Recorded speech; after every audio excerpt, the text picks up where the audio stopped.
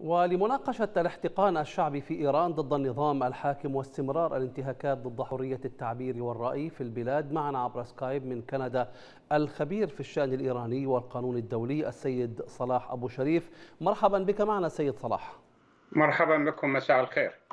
مساء الخير. في أي سياق يمكن فهم ما جرى للشابة الإيرانية مهسا أميني بعد اعتقالها على يد الشرطة ثم ممارسة الانتهاك بحقها والعنف؟ مما أدى إلى موتها بهذا الشكل؟ ما حصل لمهسا أميني هو حقيقة يحصل لكل المواطنات والمواطنين فيما تعرف بجغرافيا إيران السياسية يوميا في كل المدن في كل المناطق في كل يعني الأماكن بشكل عام هناك نظام جوهره ضد الإنسان هناك نظام بني على أساس العنصرية والتمييز العنصري وهذا التمييز على المرأة بالتحديد بشكل مضاعف جدا ودستر هذا التمييز بدستورهم منذ أكثر من 43 عاما. يعني عندما تراجع الدستور الإيراني ستجد العنصرية واضحة تماما ضد المرأة. خاصة إذا كانت هذه المرأة أيضا تنتمي لشعوب غير فارسية يعني ناهيك عن أن هناك أكثر من نصف المجتمع فيما تعرف بجغرافيا إيران السياسية تمثلها المرأة وهي مضطهدة قانونيا ودستوريا وفق الدستور الإيراني تعتبر ناقصة. لا يحق لها التمثيل ولا يحق لها الرئاسة ولا يحق لها القضاء ولا يحق لها الدخول بالكثير من يعني المؤسسات المدنية والمؤسسات القانونية والحكومية في جغرافيا إيران السياسية. ناهيك عن هذا كله إن القتيلة هي تنتمي إلى الشعب الكردي اللي حرم من أبسط حقوقه الإنسانية في جغرافيا إيران السياسية كما حرم أتراك أذربيجان والتركمان والبلوش وعرب الأحواز هناك نظام قمعي ما ظهر من من جريمة قبل يومين نعم. هو يظهر جزء بسيط جدا من جرائم النظام بحق كل المواطنين في جغرافيا إيران السياسيه. لكن السؤال يدور عن الدوافع وراء هذا الاعتداء على مهسا وعلى النساء بشكل عام، هل لكونها كما تفضلت كردية مثلا ام أم لأنها كانت ترتدي الحجاب بطريقة غير مناسبة، ما السبب ما الدوافع التي تدفع الشرطة إلى الاعتداء وصولا لقتل إنسان ما؟ هناك كما تعرفون يعني الدستور الإيراني وشرطه ما تعرف بالأخلاق اللي أسست منذ عشرات السنين وتغيرت أسماؤها خلال الفترات المختلفة. هي أساسا ضد المرأة ضد الحريات ضد التعبير ضد أي شكل من أشكال حقوق الإنسان هذه هذه هذا النظام وهذا الحكم يرى أي حرية للمجتمع للإنسان هي ضد النظام لأن النظام الإيراني يتعارض مع الحريات النظام الإيراني جوهره يتظاهر مع يتنافى ويتعارض مع أي من الإعلان. من قواعد الإعلان العالمي لحقوق الإنسان نعم. فكلما يعني المجتمع تغلب باتجاه الحريات كلما حذف هذا النظام وهذا ما لا يريده الحريات في تضاد كامل مع أسس وجوهر هذا النظام الذي ربط نفسه بالدستور وهذا الدستور هو دستور رجعي دستور متخلف دستور ضد الإنسانية. دستور يرى أن ولي الفقيه له الحكم على الناس على أموالهم على أرواحهم على حرياتهم على حقوقهم وعلى كل ما يملكون. فبالتالي يحق لهذه الشرطة أن تمارس وفقا لدستورهم الرجعي المتخلف ضد المرأة أي ممارسة ضد أي مشتبه به بالشارع دون الرجوع للقضاء أو دون الرجوع للمراكز القضائية اللي سمحت لهم بارتكاب مثل هذه الجريمة يوميا. يعني للعلم قبل أيام قبل هذه الجريمة هناك جريمة أخرى ارتكبت في بلوشستان بحق مواطنة بلوشية. نعم. أيضا تم يعني الاعتداء عليها ومن ثم قتلها في بلوچستان على رئيس أحد مراكز الشرطة هناك.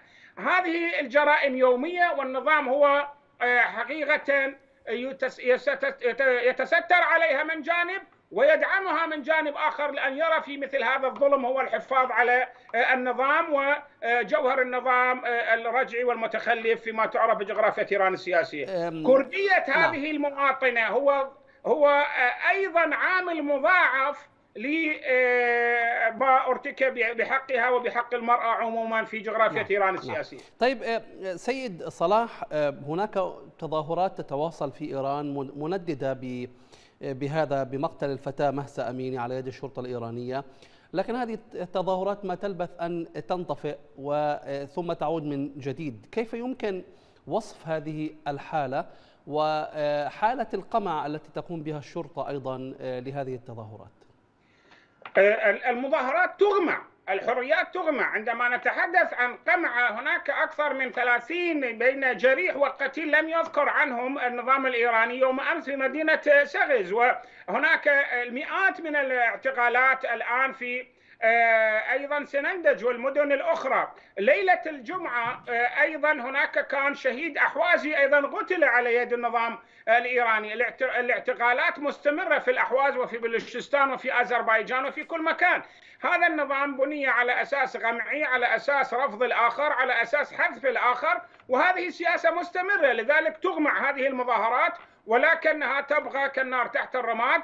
تثور بوجه هذا النظام الإيراني تحت أي فرصة وأي ذريعة. مهساء ما جرى لها يجري كل يوم في كل مدينة وفي كل زنزانة من زنازين العدو الإيراني.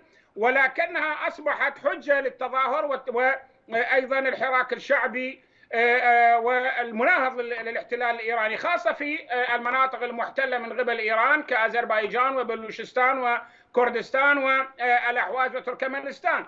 للعلم وين نتحدث معك هناك دعوة غدا يوم الاثنين للإضراب الكامل في العديد من المناطق فيما في وخاصة في كردستان وهناك دعوة لهذا الإضراب من قبل أيضا اتحاد آه، ثوار آه، آه، كردستان المطالبين باستغلال كردستان المحتلة من قبل إيران أيدها أكثر من 18 تنظيم تابع للشعوب غير الفارسية من أتراك أذربيجان والتركمان والبلوش وعرب الأحواز. ونعتقد أن هذه المظاهرات سوف تتوسع. لماذا تتوقف؟ لأن هناك قم شديد وهناك عدم دعم إقليمي أو دولي لحماية هذه المظاهرات ومنع إيران وهذا هو السؤال على المستوى القانوني الدولي. آه، هناك آه، يعني دائما آه، خلينا نقول عدم محاسبة أو ملاحقة لهذه التصرفات وبالتالي هناك قد يشجع يعني ذلك النظام الإيراني. نعم. هناك تساهل وهناك إهمال كبير من قبل المجتمع الدولي والمنظمات الدولية لما تقوم به إيران من جرائم يومية بحق مواطنيها الفرس والشعوب غير الفارسية، إيران ملزمة وفق القانون الدولي الإنساني، إيران ملزمة وفق مجلس حقوق الإنسان بصفتها عضو بهذه المنظمات أن تحمي الحريات أن تحمي كنظام التعبير أن تحمي أن تحمي التظاهر أن تحمي الخصوصية الفردية أن تتعامل مع المواطنين دون أي تمييز. هذا هو ما وقعت عليه إيران بالمؤسسات الدولية كعضو بالمجتمع الدولي وعضو بالجمعية العامة للأمم المتحدة وعضو أيضا مجلس حقوق الإنسان. ولكنها لا تعتني إيران ويوم قد أيضا رئيسها المتهم بالإرهاب المتهم بالقتل لآلاف المواطنين غدا سيصل إلى نيويورك للمشاركة في آه، الجمعية العامة. هذا هذا هو التناقض للأسف الشديد وهذا هو الإهمال الذي يستقله إيران لقتل الشابات والشبان وكل من يناهضه في جغرافية إيران السياسية. والموقف الأمريكي دائما ما كان موقفا يبحث عن المصلحة الأمريكية أكثر من بحثه عن حقوق الإنسان.